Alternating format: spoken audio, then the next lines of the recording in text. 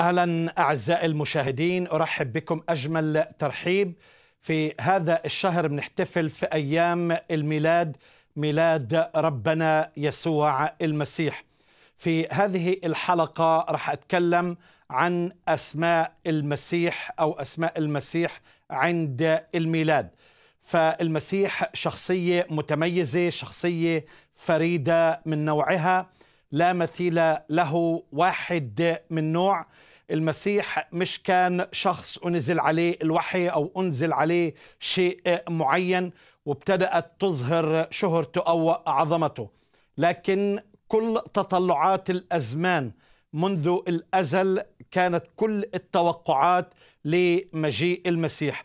لأجل هذا إذا بتتذكروا عملنا حلقة عن يسوع ابن الله وذكرت أنه أنه المسيح له الطبيعة الإلهية وله الأعمال الإلهية وله أيضا الأسماء الإلهية.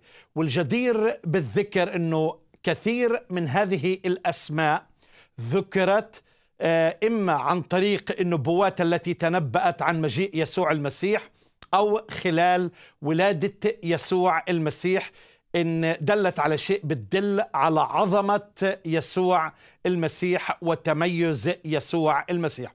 وأنا اليوم عندي اشتهاء ورغبة إنه أتكلم عن هذا الشخص الفريد اللي بحبه والمخلص والرب على حياتي اللي أنا بتمنى كل مشاهد إنه يختبر يسوع المسيح الحي في حياته اليوم.